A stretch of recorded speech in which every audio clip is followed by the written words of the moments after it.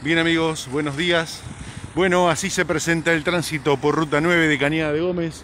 Hubo un siniestro importante en autopista, como ya todos sabemos, a la una de la mañana, en donde en la modalidad de choque de alcance entraron en colisión un camión que llevaba cereales y uno que llevaba tolueno, esta peligrosa sustancia química que obviamente se incendió desde esa hora bomberos trabajan en el lugar, si bien ya el siniestro está totalmente apagado, lo, importante es que aún hay gases todavía en el lugar, por lo que falta la logística de parte de la empresa que sufrió el daño el camión de Tolueno, que lo vengan a buscar con su logística obviamente correspondiente se traslada un camión siniestrado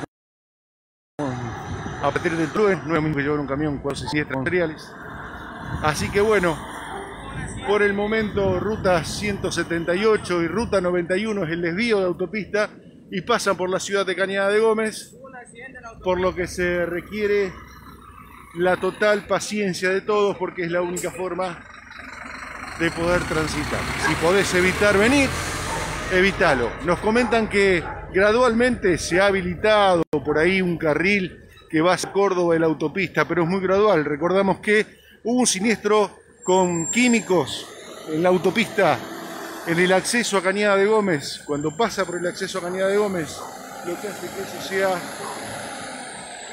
realmente muy perjudicial al pasar por ahí, más allá de que el siniestro ya ha sido sofocado. Esta es la situación entonces en la ciudad de Cañada de Gómez, tras el siniestro en la autopista.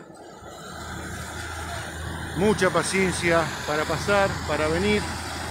Si podés evitar salir, no vengas.